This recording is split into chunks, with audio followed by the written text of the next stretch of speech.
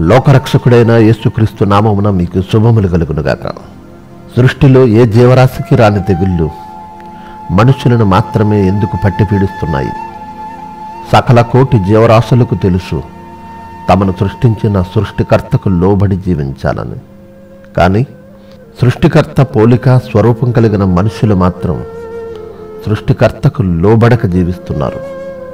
సృష్టికర్త భయం లేక లోబడిన మనుషులకు సూక్ష్మజీవి చూపిస్తున్న సూచనే ఈ కరోనా వైరస్. సృష్టికర్తకు లోబడండి. ఆయనను వేడుకోండి. ఈ కరోనా వైరస్ బారి నుండి బయటపడండి.